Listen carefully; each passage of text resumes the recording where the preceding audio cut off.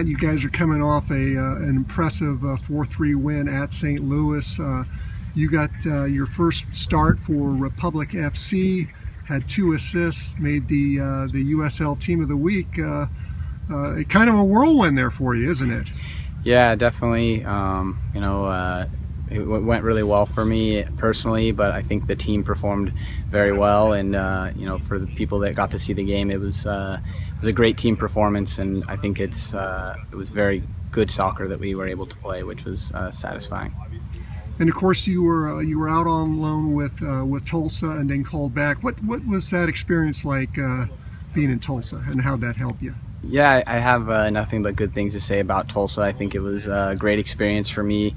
Um, really helped with my development, and um, you know I was able to to make an impact there, and um, you know that helped me get into a position where I've got an opportunity here, and I, I made the most of it.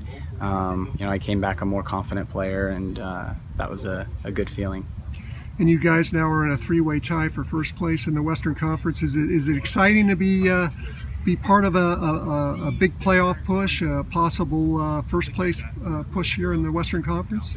Yeah, I think it's very exciting. I mean, when you start a season, that's uh, you know always in your sights. That's the goal is to, to go win the uh, the league and uh, make a push in playoffs. And uh, we've put ourselves into a great position now with seven games left. So you know, hopefully we can keep our good run of form going and and you know get where we want to be at the end of the season.